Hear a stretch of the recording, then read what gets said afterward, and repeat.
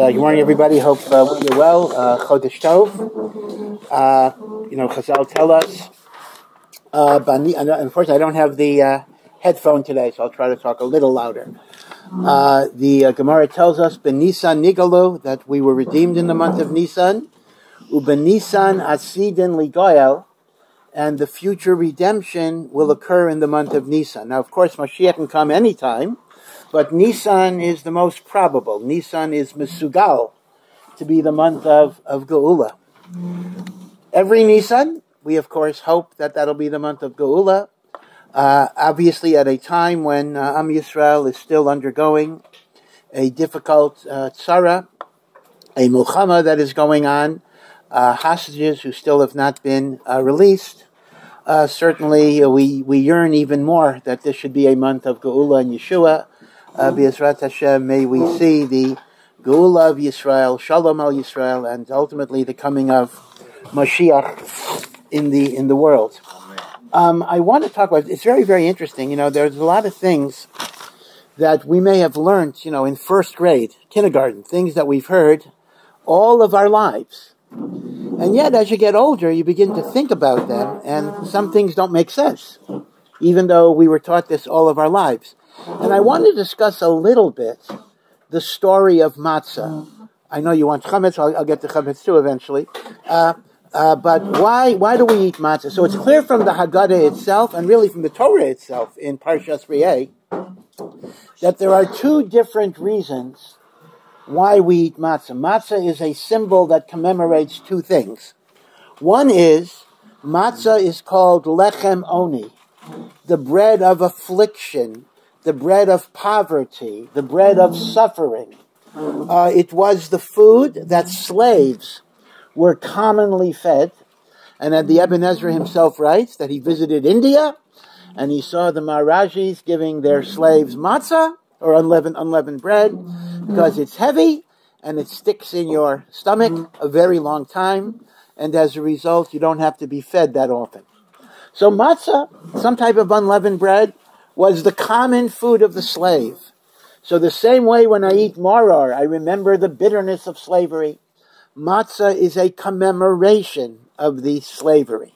That's one reason, and that's lechem oni. There is another reason that it is connected to chipazon. It was connected by the hurriedness that we were, we were kicked out of Mitzrayim. That's what I'm going to talk about in more, in more length in a, in a moment.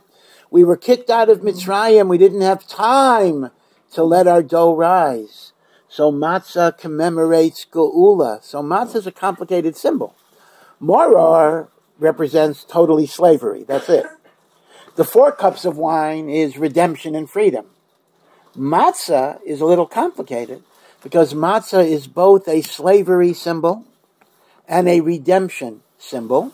And indeed, this is highlighted in the Haggadah, where the matzah is discussed two different places. In the beginning of the mm-hmm. Seder, we point to the matzah and we say, Ha lachma anya. Uh, it's Aramaic because this was written after the Churban. This is the bread of poverty, the bread of affliction. Lechemoni mm-hmm. is, is Aramaic, lachmanya, that our forefathers ate in Egypt. What do we mean our forefathers ate in Egypt? When they were slaves.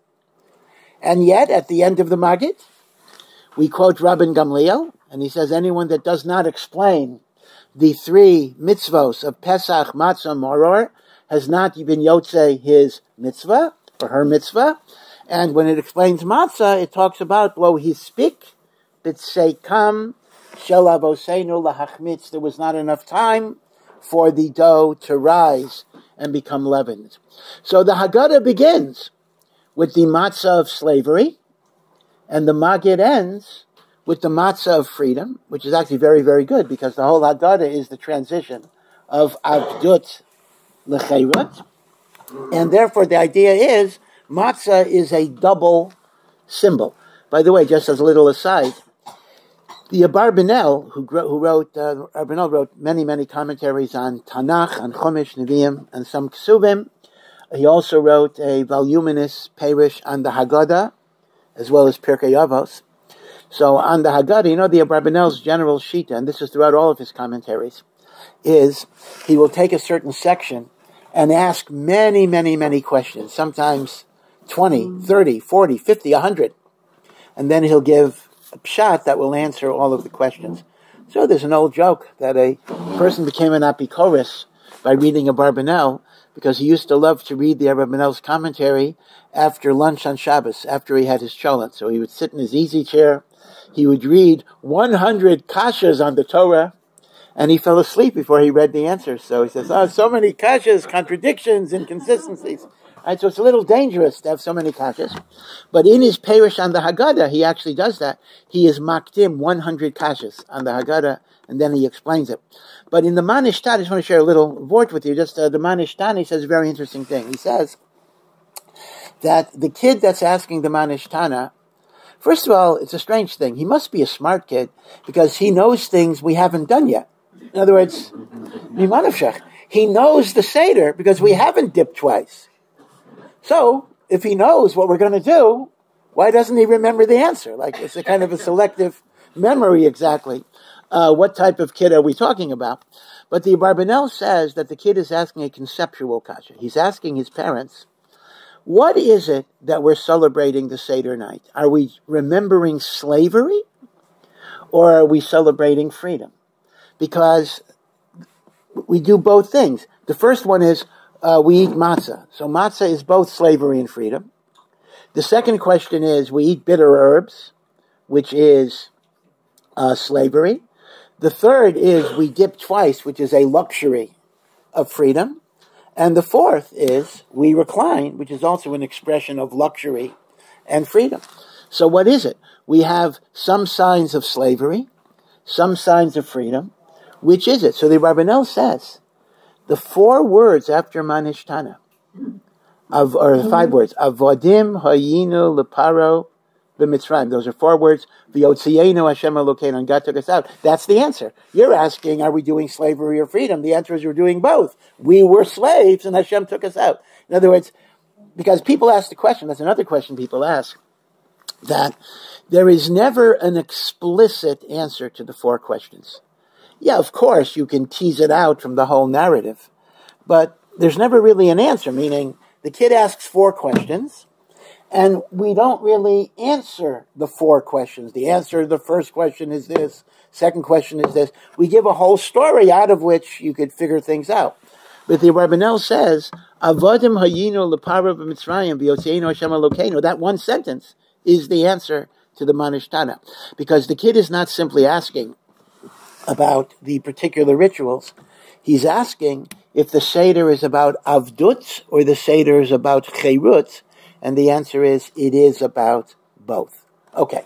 So, be it as it may, when it comes to matzah, though, matzah is a dual symbol. One is lechem oni, and the other is lo hispik b'tseikam shel avosenu lahachmitz. There was no time. Okay. So here is the problem. Here is the big problem. In Shmos Perek Yud Beis, which was given Rosh Chodesh Nisan, two weeks before Yitzias Mitzrayim, 15 days before Yitzias Mitzrayim. We read it in the Maftir this past week. It was Parshas HaChodesh. Hashem gives Moshe a lot of laws about the holiday of Pesach, about the Korban Pesach and the like.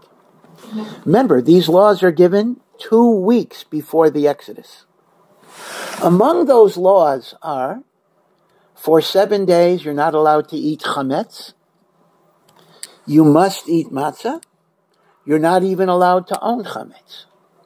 That means two weeks before the Exodus, we were already given a commandment not to eat chametz, to eat matzah, at least the first night, and not to own chametz.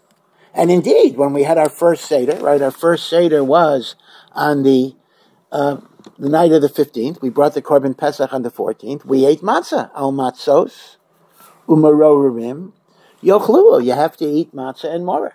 So they actually ate matzah the night before they left Mitzrayim. So here's the problem. How can you say that the reason why we eat matzah is to commemorate the chipazon, by which we had to leave Mitzrayim, We were already told not to eat chametz and to eat matzah two weeks before. Now, I want to point out this question is a little stronger than you might you might make it. The question is not. You could you could ask the question in two ways, and one way is not so difficult. The question is, well, how could this be the reason if the mitzvah was given before? That's one way of asking the question. How could a reason for a mitzvah be something that didn't arise till later?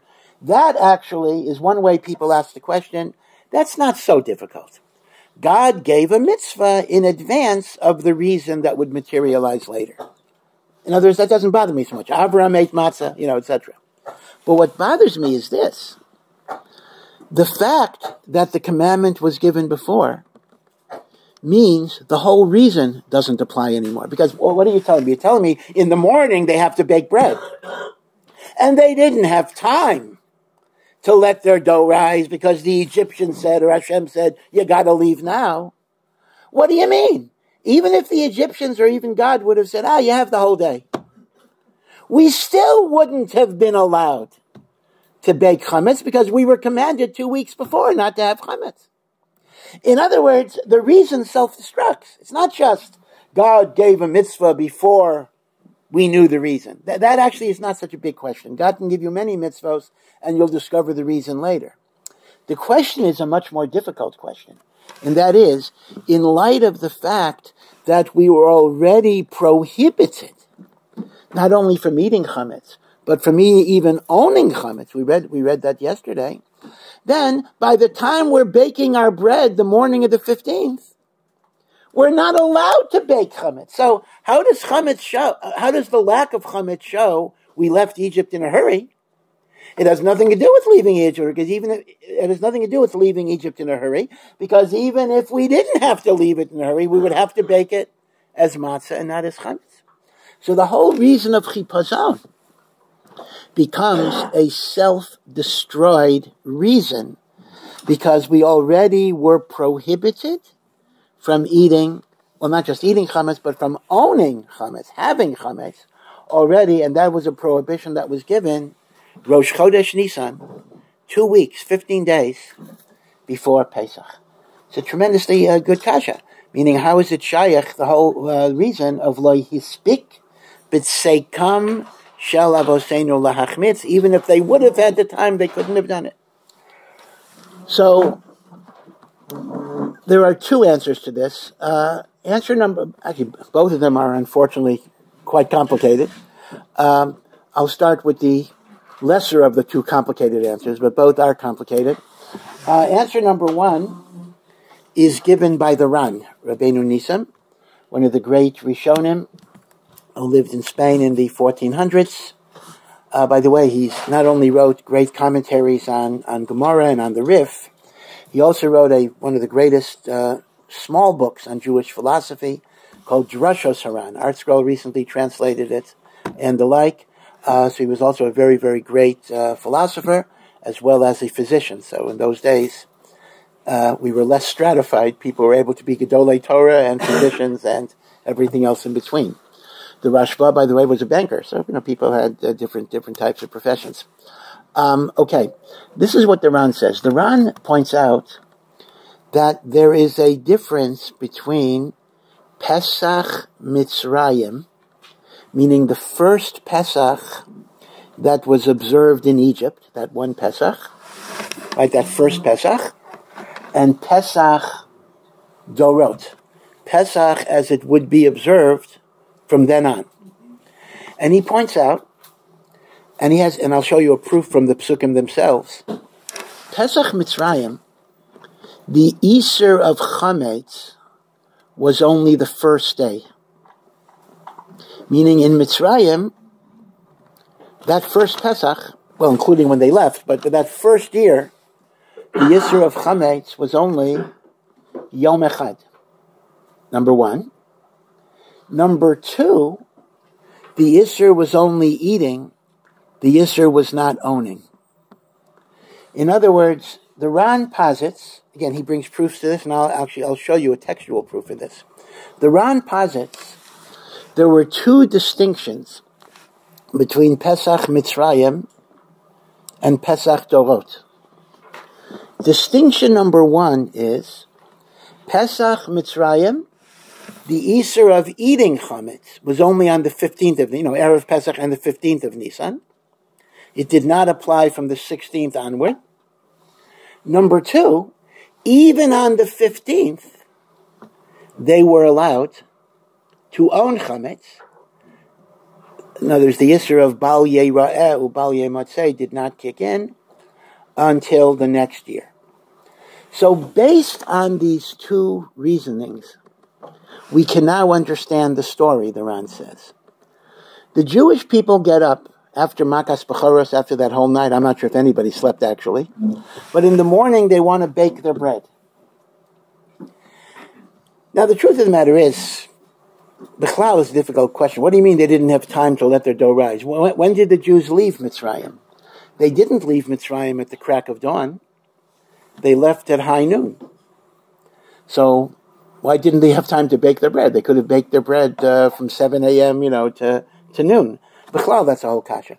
But the answer is, you know, uh, everybody thinks they have more time than, meaning it, it, wasn't intrinsically a rush, but Lamaisa, people were baking their bread the last minute, not realizing there wouldn't be a last minute. So here's the thing the Ran says. It is true that the night before they already ate matzah at the Seder. And it is true that on that day they're not allowed to eat chametz.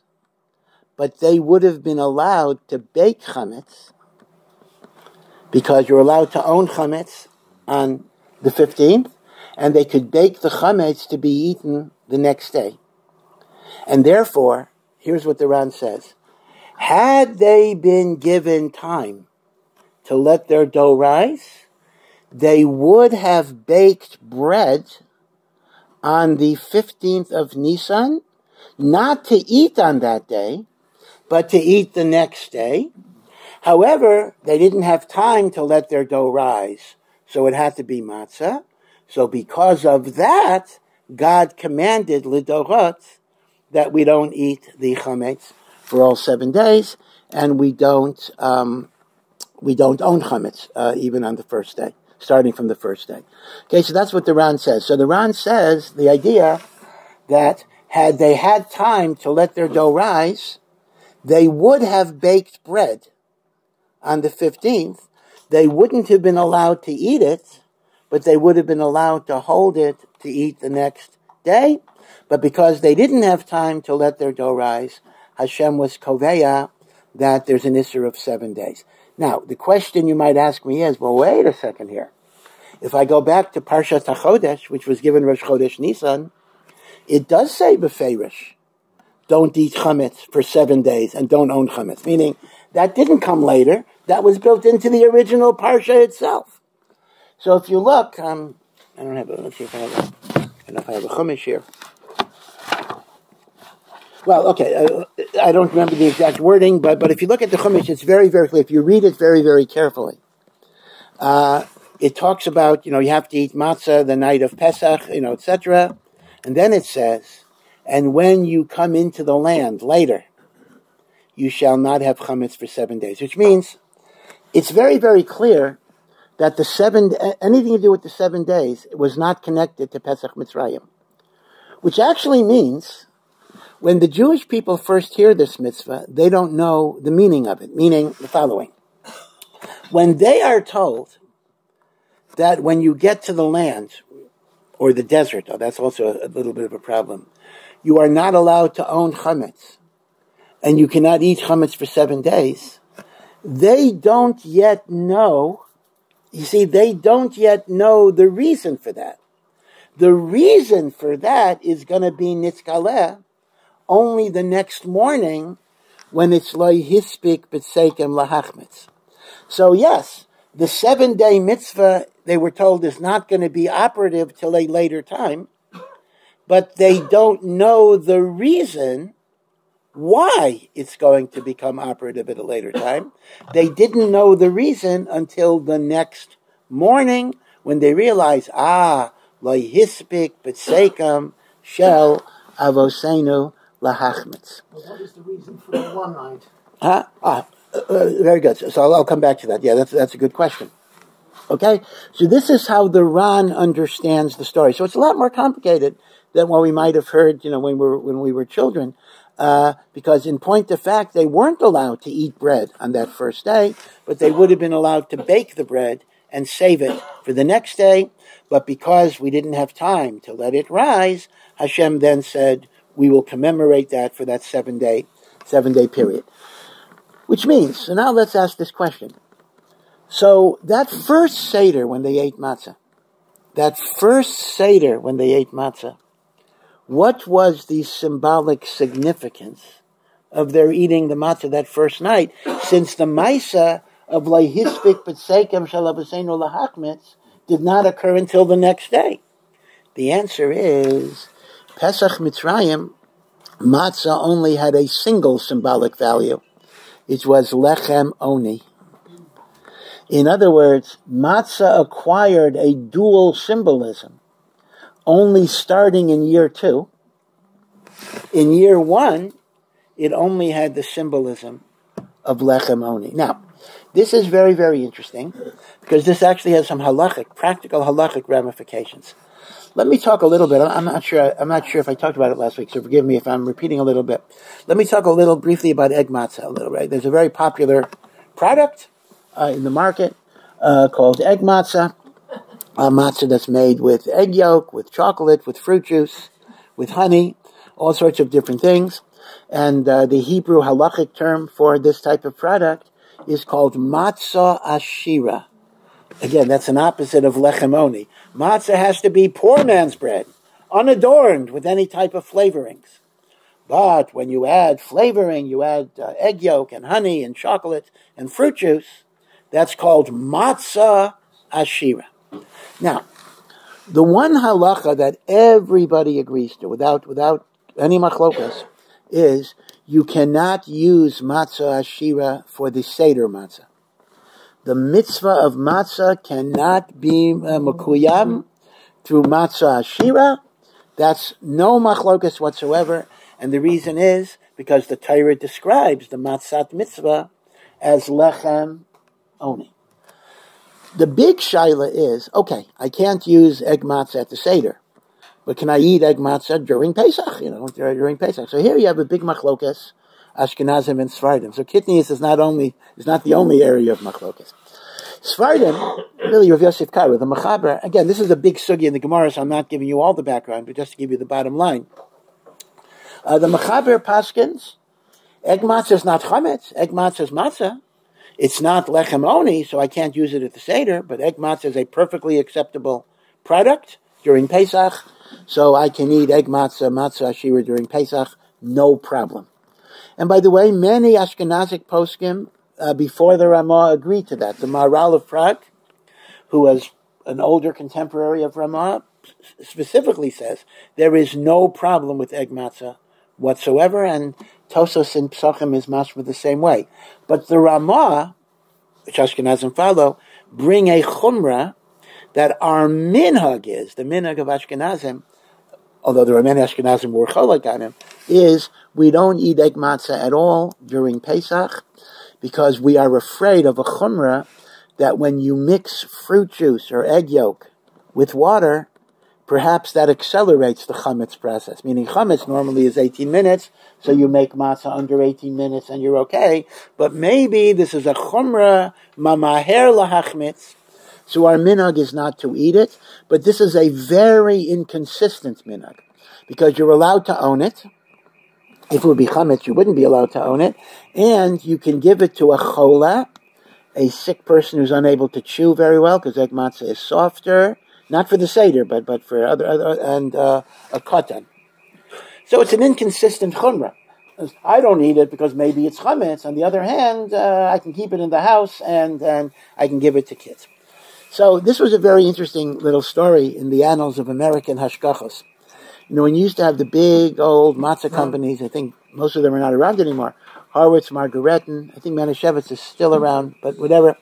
Uh, so when they made, when they made egg matzah, Many of them, on one hand, you're not supposed to eat it if you're Ashkenazi, but they don't want to put on the package, don't eat it. So, so they put, they put in Hebrew, Ayin in Hebrew, Hebrew, Hebrew letters, Hebrew words. Ayin Shulchan Aruch Simin Taf Ayin Aleph. Now, most people who didn't know just assumed that was another hechsher. Uh, they certainly weren't going to look up the Shulchan Aruch and the Ramah, but it actually don't eat this.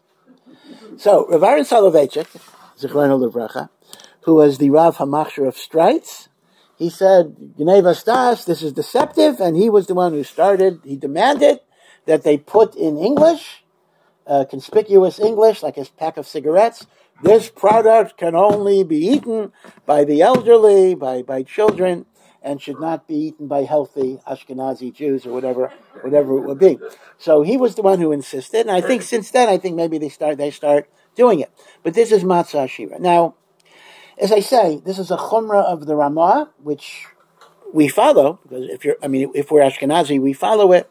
But I do want to note there were many, many great Ashkenazi poskim who agreed with the Sfardim that there is no problem with egg uh, matzah, and I included Maharal, and even much earlier than Maharal, um, it seems to be clear from Rabbeinu Tam, uh, Rashi's grandson, that matzah ashira would be would be mutter even on Pesach itself. Okay, so now, just, y- yeah. on the first night, do you need symbolism of poverty when you're still poor?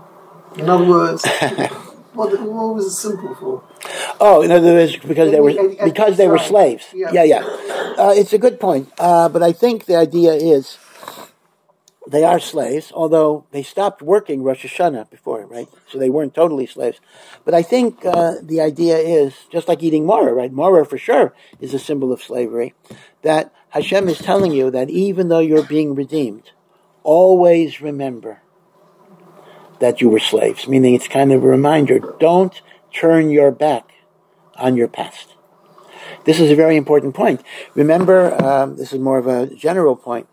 Uh, when the Torah talks about uh, having compassion for the ger, for the stranger, people who are vulnerable, people who are without power, people who are without protexia, people without connections, the Torah always connects it because you were s- s- uh, slaves, you were strangers in Egypt.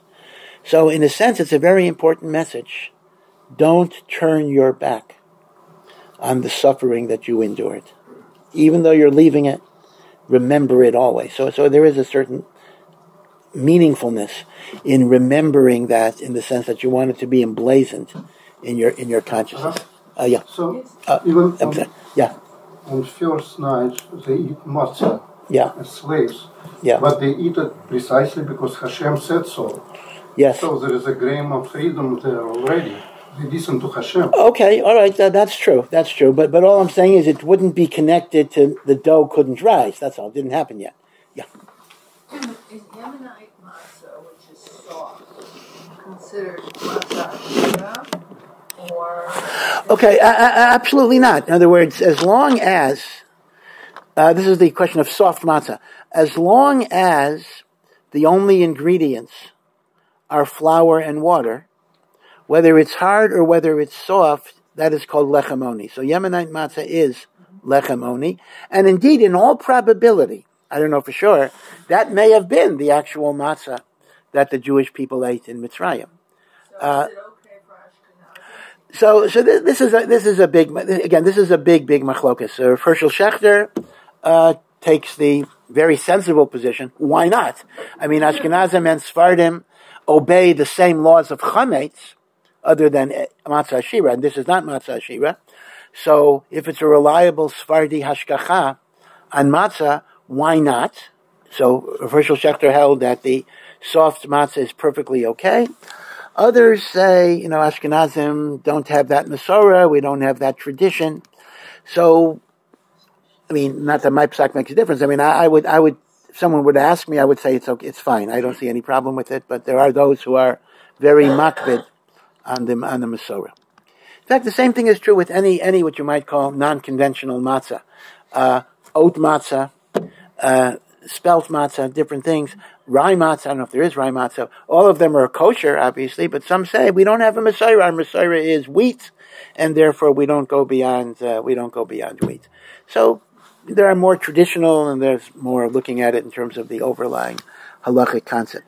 Okay, so everyone understands the Ran's idea. Now, I am sorry. Uh, did you want? To? Yeah. So I would thought that, except for the Levim, that everybody else would- not be eating bread, would be eating matzahs generally. And not even- Uh, I'm sorry. Say again. I didn't hear you. I would have thought, for being slaves? Yes. Each at that point, except for maybe were not Right. slaves, Right. that they would not be in the habit of eating bread. Yeah, that's that's correct. Meaning that's what the uh, that's the lechamoni because the slaves generally ate matzah. So what what God is commanding is the night of your freedom, you must still remember your slavery. That that's the, that that would be the idea. Yeah.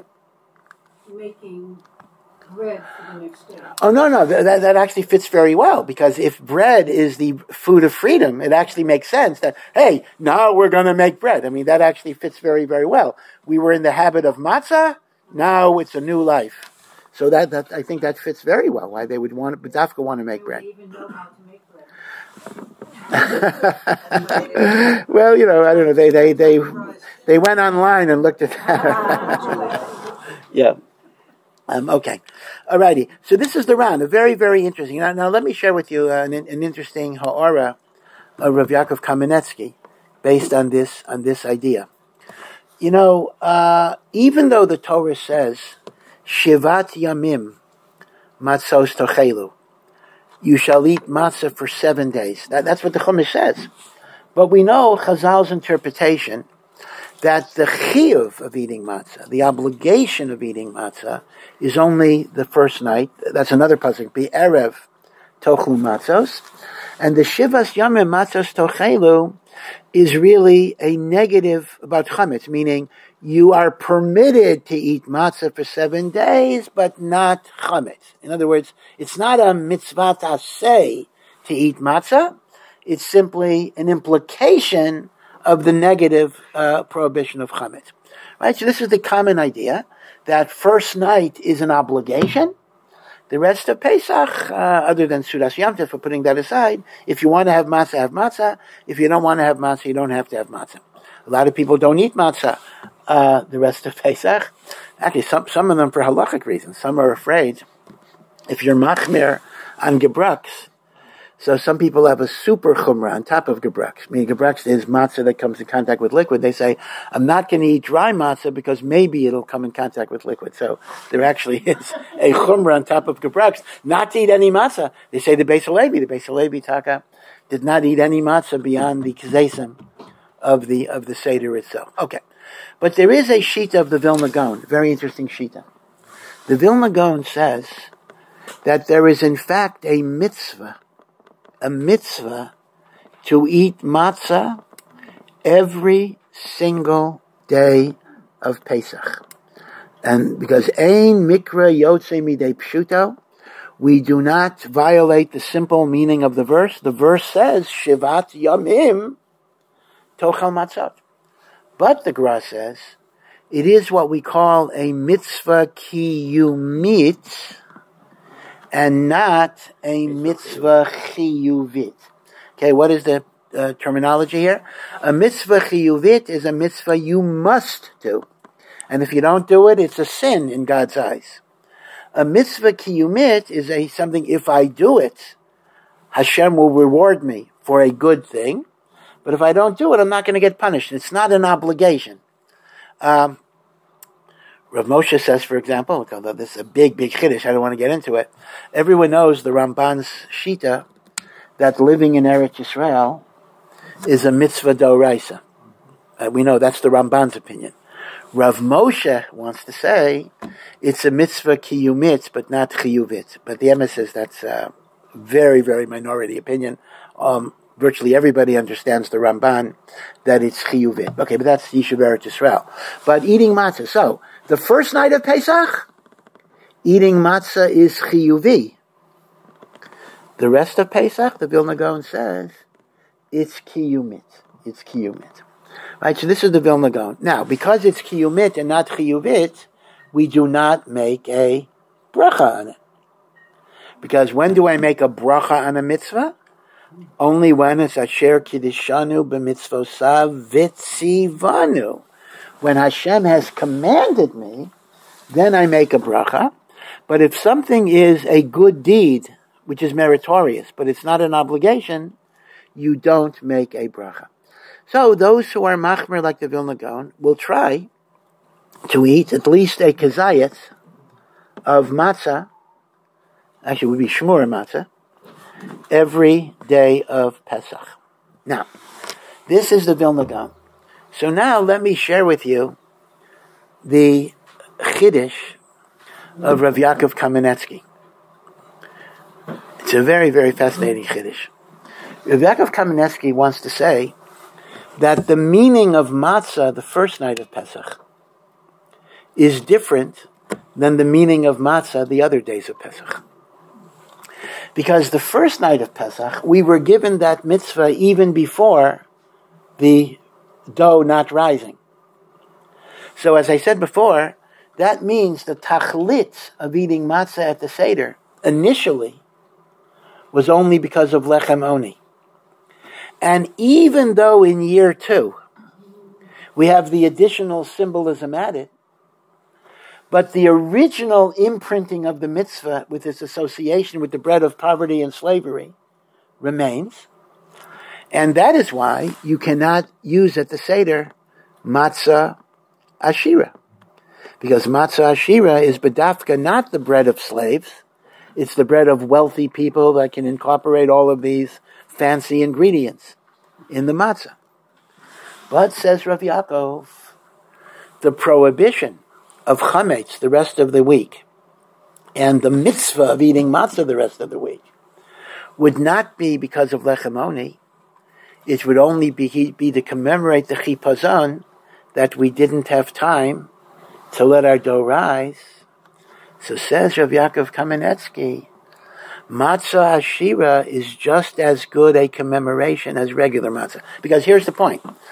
Bread is, matzah is unleavened because you didn't let the dough rise. So when I eat something unleavened, I'm commemorating the haste by which we left Mitzrayim. Now that particular thing can be equally fulfilled with egg matzah. Egg matzah also didn't rise and become chametz. So egg matzah at the seder is not good because it's not lechem Now again, Rav Yaakov is, is, this does not work like the Ramah. Like the Ramah, you can't eat egg matzah at all. But, but let's put aside the Ramah's chumrah. Let's just look at the Iker Hadin, that egg matzah could be eaten the rest of Pesach, as Sfardim do, as the Maharal says, as Tosfos says, and the like. So Rav Yaakov's Chiddush is, the mitzvah ki kiyumit of matzah the rest of the week can in fact be fulfilled even by matzah ashira because the symbolic meaning of matzah during the week is exclusively loihispik betsekam shalavasenu lahachmitz and lechem oni is the motif only for Leil Seder which preceded the loihispik betsekam shalavasenu lahachmitz. Now as I say, this is a very, very fascinating chiddush, uh, but for a regular Ashkenazi, it's not nogel lemaisa because the Ramah's psak is we don't eat egg matzah during the week, right? But but in theory, if you followed the psak that egg matzah is permitted during the week, you could fulfill the mitzvah kiyumit even with matzah matzah ashira. Of course, I think there's another problem though, and you're going to have to get special order of egg matzah because the mitzvah of matzah is fulfilled. This is why we have shemura, only if it was specifically made for the mitzvah.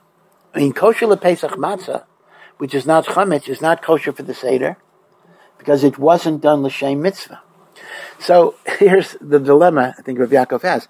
Even if you're going to say egg matzah is valid for the mitzvah kiyumit of matzah, that's only if the egg matzah was made l'shem matzah smith. So you're going to have to have shmura. It's a new, a new business niche. Uh, shmura, egg matzah, for those who want to, for those Sfardim who want to follow the Vilna Gaon's Inyan. already some unusual mix. For those Sfardim who want to follow the Vilna Gaon's Inyan of a mitzvah kiyumit, of achilat matzah, we can have shmura matzah l'shem uh, l'shem l'shem mitzvah. Again, fascinating. But again, it's very it's a very logical construct because the seder matzah is lechemoni plus the other idea. The matzah during the week is to commemorate the chipazon of Mitzrayim. On the chipazon, he says egg matzah is just as good as regular matzah. It didn't rise. It reminds us of the haste by which we had to leave leave Mitzrayim. Now, I want to mention though that Maharal of Prague, much much earlier, even has a bigger chiddush than Rav Yaakov Kamenetsky, and that's the following. Let me go back to a Mishnah in the tenth parak of Psachim, right? Arve Psachim. The tenth parak of uh, Psachim is the parak about all the laws of the Seder. In fact, I would urge people, if you have time, uh, to learn the whole parak would be, you know, difficult. It's a big, complicated parak, but at least do the Mishnayos if you want to know the basic Talmudic sources for how a Seder is conducted. The Mishnah lays it out, including a lot, of the text of the Haggadah is taken. Chayav Adam Asatzma. Every person must regard himself as if they were taken out of Mitzrayim. That is in the Mishnah. Rabban Gamliel says anyone that doesn't explain Pesach Matzah Morer is not Yotzei uh, his Chovah. That's in the Mishnah. Uh, the man, the uh, Manishtana with some differences are in the Mishnah, right? So uh, it's a worthwhile limit with uh, your children and grandchildren to actually learn the uh, either before Pesach, ideally, or during Pesach itself, to learn the Mishnayos of Arvei Pesachim. But the Mishnah begins with the following rule: Arvei Pesachim samach lemincha.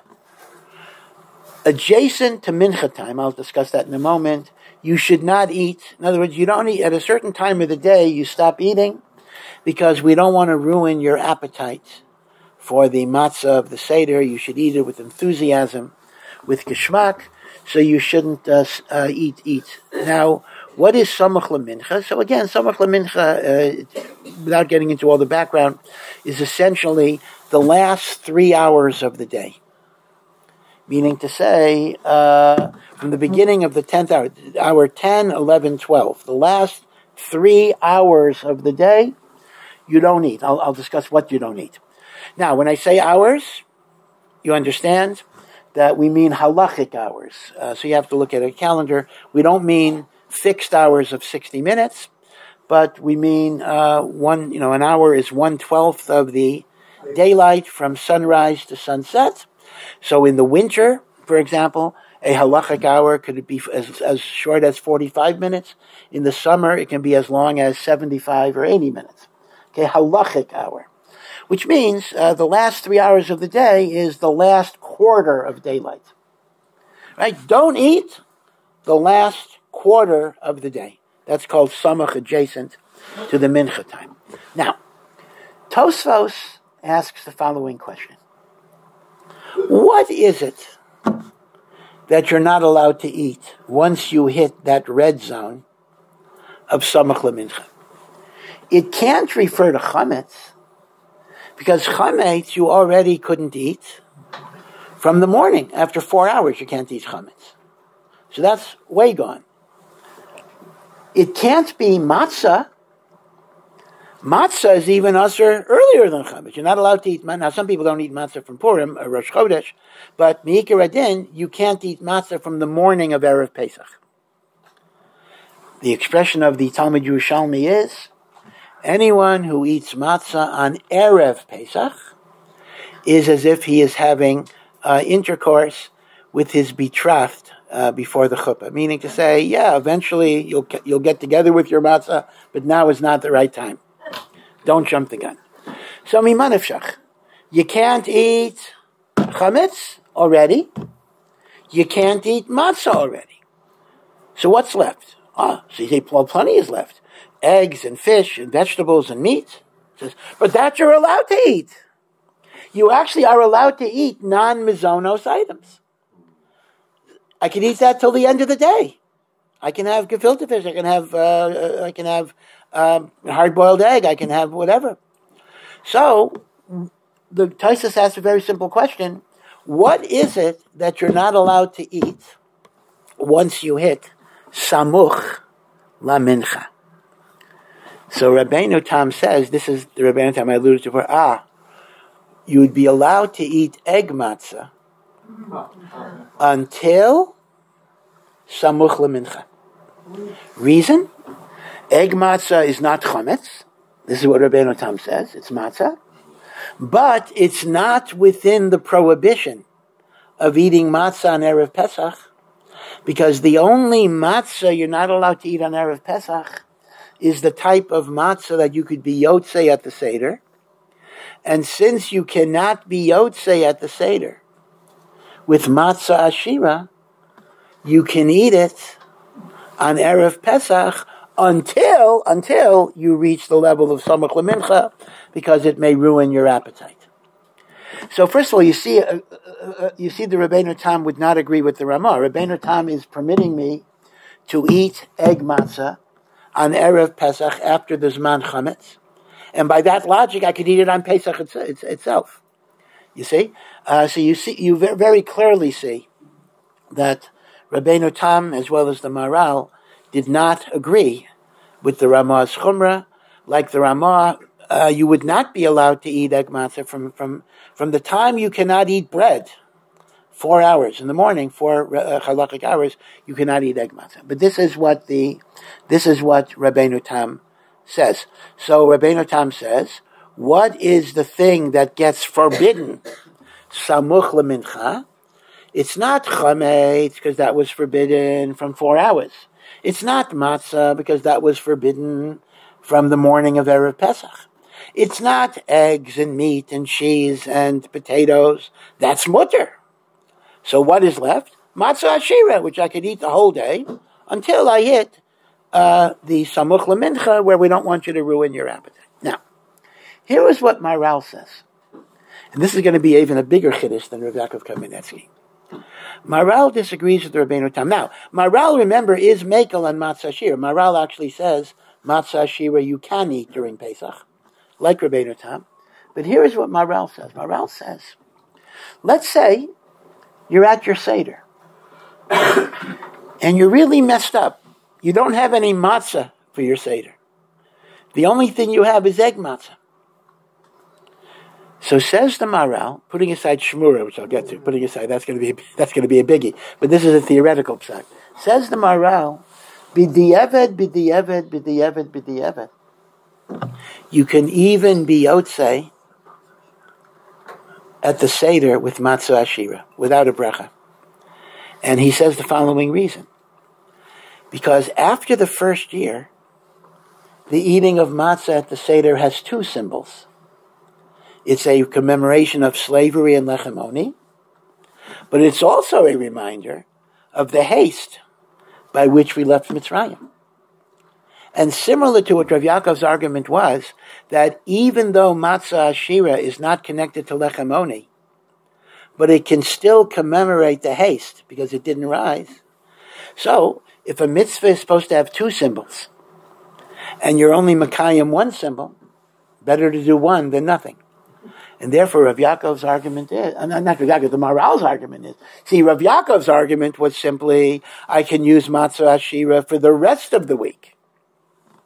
Maharal's Chiddush is much bigger.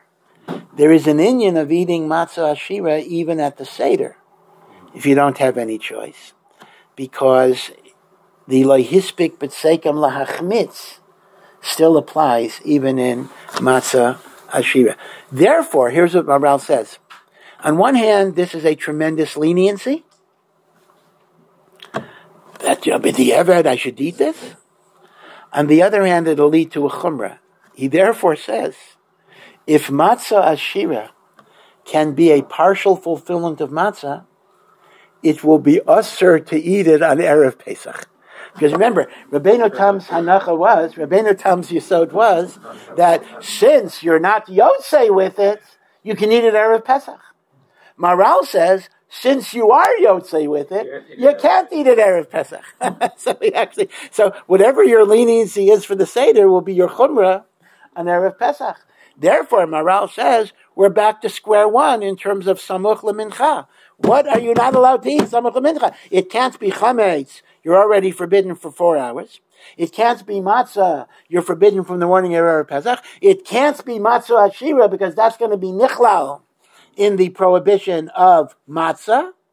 So Maharal learns a Balabatasha answer. It says, oh yeah, and it can't be fish and eggs and cheese and all that stuff because you're allowed to have it. You are allowed to have it. Answer is very pushit. Yeah, you're allowed to have it, but don't stuff yourself. So when it says lo yochal, lo yochal doesn't have to mean don't eat anything, but it means don't overeat.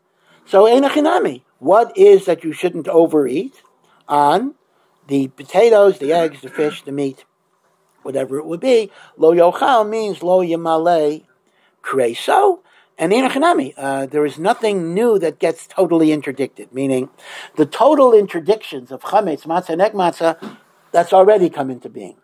Samuch lemincha, there's nothing that you're totally prohibited in, that you're not already prohibited in, but lo yamale, kreso, do not fill your, your stomach.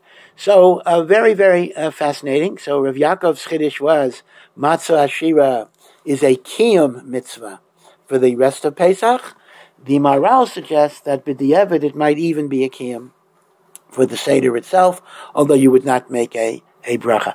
As I say, none of this works with the Ramah for Ashkenazim who bichlal asers, but uh, if you follow, again, the Maharal himself and Rabbeinu Tam, they are both presupposing that egmat is okay. Yeah. I hate to say this, but it sounds almost like this is why you're celebrating. No, uh, you know that's certainly you know that absolutely is certainly possible, and, and, and it probably is even optimal and superior. We're talking about you know b'di'evid. If I don't have the other one, is there some concept of second best? So really, we're, we've been analyzing second best ways of doing things. I think you're correct. Optimally, you should incorporate both both ideas. Yeah. Yeah, I was wondering if there's any significance to chametz. It seems more, even more important than matzah. Uh, Yeah, yeah, so- and it's sacrifices as well. Yeah, so one, one thing you need to know about chametz is that although we, we clearly associate chametz with Pesach, remember that uh, there are prohibitions of chametz that are way, way beyond Pesach. The Beis Hamikdash, for example, the avodah of the Beis Hamikdash was largely a chametz-free zone. The korban mincha that was brought was not allowed to be chametz, except on Shavuos, as one exception. Um, even the lechem apanim, you know, you, you think about them as breads, they, they were in fact not chametz, although they were soft. They were soft, like Sephardic matzah. So chametz is really very, very bad, even in the whole avodah, the whole year. And once again, the basic idea, maybe I'll have to save it for, for next week if I think we have one more share, uh, is that chametz represents arrogance, represents gaiva, it represents also inertia, because when water hits flour, you don't have to do anything to make it chametz. Uh, uh, it, it happens by itself. You don't need yeast. You don't need a starter. So matzah, you got to do something, bekum asay, to arrest the fermentation by heat. So chametz represents the Yetzer Hara. I'll just end with one beautiful little thought. You know, for many, many years, I'm not sure if it's still the case, the largest Seder in the world was in Kathmandu, in Nepal. And it was a Chabad Seder, and uh, they had 2,000 people, mainly Israelis, because after people finish the IDF, they love to go to Asia, whatever it is. Uh, you whatever Israel is too small for them, they want to see the world. So uh, it's a big, huge Seder, and obviously uh, the logistics of a 2,000 person Seder outside is a little difficult, but they have a little bit of an avant garde ceremony, Erev Pesach, which is very beautiful, I think. Uh, when they burn the chametz, and they have big bonfires burning the chametz, everybody is supposed to write on a piece of paper some bad midah that they wish they could destroy or go beyond. I have an anger problem, I'm selfish, I'm egotism. And they throw it into the fire to be burnt with the chametz. Now you hear that and you think, ah, avant-garde, hippie, you know. ah." But the truth of the matter is, if you look at the ancient tefillos that were recited when we burnt the chametz, al pi Kabbalah, the Mukubalim's tefillah was, just as I was zocha to burn the external physical chametz, may I burn the chametz of my heart that keeps me distant from God. So chametz has a very deep symbolic value uh, of gaiva and arrogance. In fact, I'll just end with one, one quick uh, other story. They say a Rebbe was doing b'dikas chametz with his chassidim, And they spent hours and hours and hours and hours, and the Talmidim were very proud of themselves. We really did a great job. But the Rebbe seemed a little agitated. The Rebbe pointed to his chest, his, and he said, And what about the chametz in here? What bedika did I do in here? So the Talmidim gave him a brilliant answer. The first Mishnah in Psachim says, a place that you don't bring in chametz, you don't have to check. Says Rebbe, in here, makam she'ein machnisin bo chametz, ein. Did you have a question? Yeah. What if you can't eat that? Oh yeah, all right. So, so again, I, I do have to stop, but let me just point out that the shiurim that are really valid are much, much, much smaller than the shiurim that are commonly advertised. I mean, the shiurim that are commonly advertised in the yeshiva world, you know, two thirds of a matzah, a whole matzah, are really a, a kazayas is the volume of an olive. So the truth is, if you eat one sixth of a typical shmur, hand shmur matzah, one sixth, you vada have a kazayas and I'm being generous, I, that's already larger, but, but let's say if you go with one sixth, you for sure will be okay. Now that means you have to do at least three times though. So you'll eat the total of a half a matzah. One sixth for motzi matzah, one sixth for korech, and one sixth for the afikomen. So altogether it's a half, half of a shmur matzah, so that hopefully should not be too difficult. Okay, uh, be well, and uh, I think next week we're still on, but uh, but I will give you an excuse if you feel you can't make it.